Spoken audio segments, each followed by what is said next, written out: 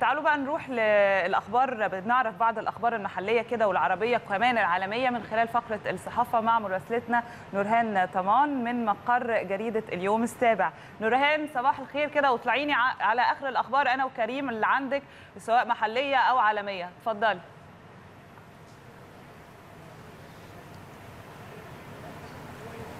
صباح الخير عليكم مشاهدي قناة النادي الأهلي في كل مكان. صباح الخير يا كريم صباح الخير يا نهوان. إحنا هنا من مقر جريدة اليوم السابع لنطلعكم على أبرز وأهم الأخبار الرياضية. لكن خلينا قبل ما نروح للأخبار الرياضية نفكر مشاهدينا بمباريات اليوم في الجولة 25 من بطولة الدوري واللي هيكون على رأسها مواجهة النادي الأهلي لفريق حرس الحدود الساعة 8 على استاد الإسكندرية. كمان الاتحاد هيواجه نظيره المقصه على استاد الاسكندريه أيضا ولكن الساعة 3:30 والإسماعيلي هيواجه نادي مصر الساعة 6 على استاد الإسماعيلية بينما هيواجه وادي دجلة نظيره المقاولين العرب الساعة 6 على ملعب بيترو سبورت. ومن موقع اليوم السابع كتيبة الأهلي تتحدى طموح الحرس على الحدود. سلط موقع اليوم السابع الضوء على اقتراب النادي الأهلي من تحقيق لقب بطولة الدوري واللي إن شاء الله النهارده هيكون فاضل له 11 نقطة لتحقيق اللقب. كمان النادي الأهلي متصدر جدول البطولة برصيد 65 نقطة. وفي تقرير اليوم السابع كمان سلط الضوء على الأوراق الرابحة للمدير الفني ريني فايلر النهارده واللي على رأسها عودة علي معلول الظهير الأيسر لقائمة الفريق بعد الإيقاف وغيابه عن مباراة دجلة الماضية. وكمان كمان السنغالي إليو بادجي وجناح الفريق وليد سليمان.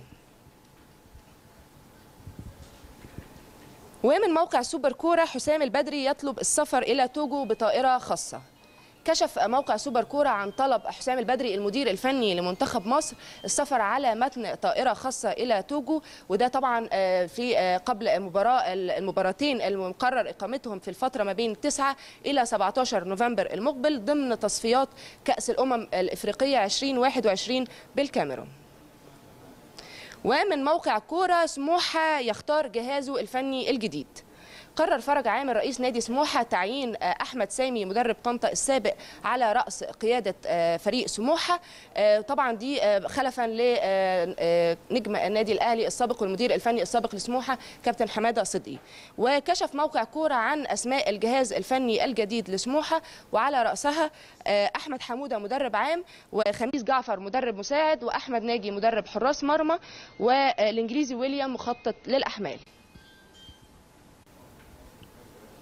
وعلى المستوى العربي من موقع سبورت 360 الأهلي يطلب أحمد موسى والنصر يقدم عرضا جديدا.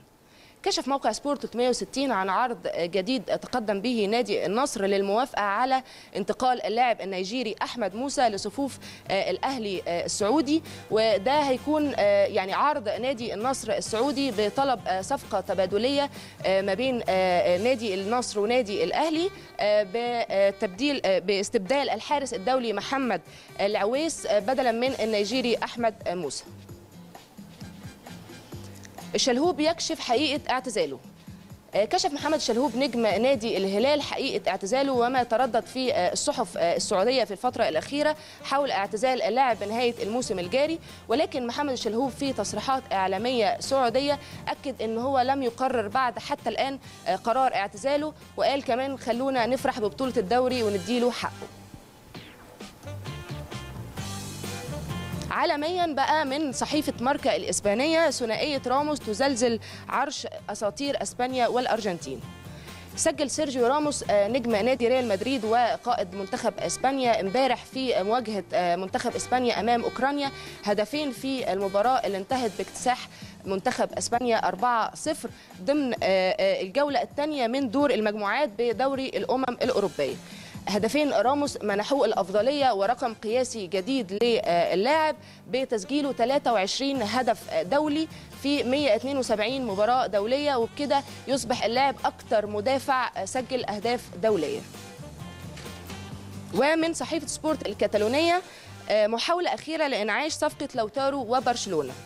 طبعا صفقه لوتارو وبرشلونه آه، يعني يمكن كانت حديث آه، الصحف العالمية لفترة طويلة جدا آه، ولكن صحيفة سبورت الكاتالونية قالت إنه الصفقة عادت تاني للأضواء بعد طلب يعني وكيل اللاعب من إدارة إنتر ميلان للسماح ب يعني انضمامه لفريق برشلونة في الأيام المقبلة. وده هيكون طبعا يعني بعد ما المدرب رونالد كومان طلب استخدام اللاعب في الفترة القادمة. كمان خلونا نقول إنه غموض آه، يعني مصير ميسي بعد آه، نهاية عقده هو اللي بيقرب آه، لوتارو مارتينيز لانضمام لصفوف برشلونة. دي كانت أبرز أخبارنا هنا من مقر جريدة اليوم السابع. شكرا لكم جدا وعودة إلى الاستوديو. شكرا ليكي زميلتنا العزيزة نورهان طمان. شكرا ليكي